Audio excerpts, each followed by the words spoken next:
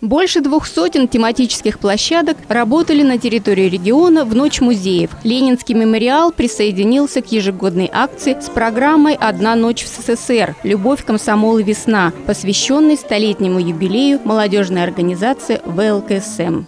Мне кажется, для каждого музейщика Ночь музеев – это такое особое событие года, когда э, музей распахивает двери и его обычно тихие залы, они становятся шумными и максимально насыщенными посетителями.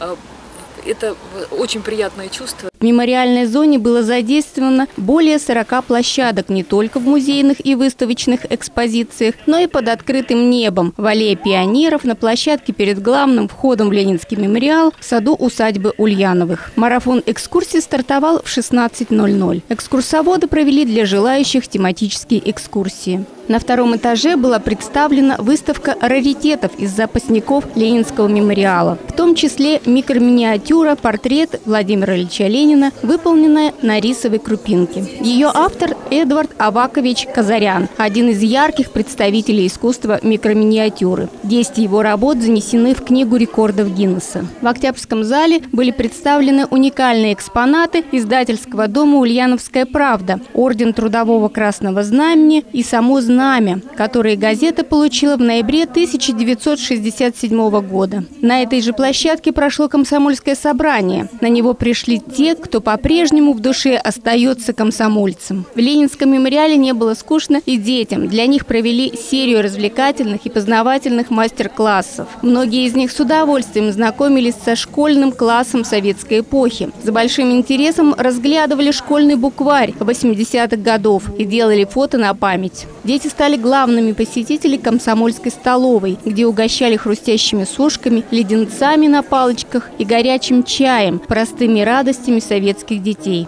Музыкальная программа «Мой адрес Советский Союз» Ульяновского государственного губернаторского оркестра русских народных инструментов продолжила вечер.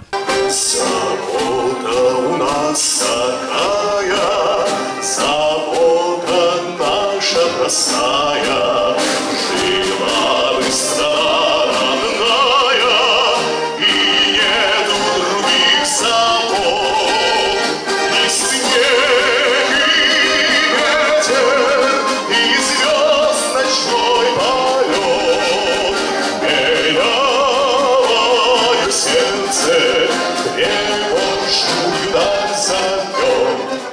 А тем временем в новом выставочном зале Ленинского мемориала «Ретро-мототехника» открылась мотофотозона в седле. Фотосет с раритетным мотоциклом в экипировке мотогонщика. Гостям площадки представили экскурсию «Советская эпоха в мототехнике». Да, музею 95 лет, но музей продолжает развиваться.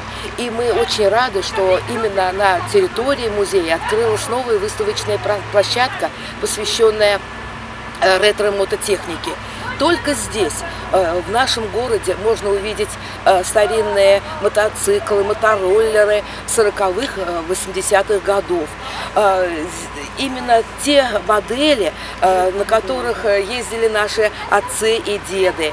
На территории Дома-музея Ленина было оживленно. Здесь с 18.00 началась игровая программа «У наших ворот всегда хоровод». И стартовал квест по саду «Яблони в цвету». Ровно в 20.00 в экспозиции Дома-музея прошла интерактивная экскурсия «Неизвестный музей». Вход на все площадки одной ночи в СССР был свободный. Ирина Антонова, Новости Ульяновской правды.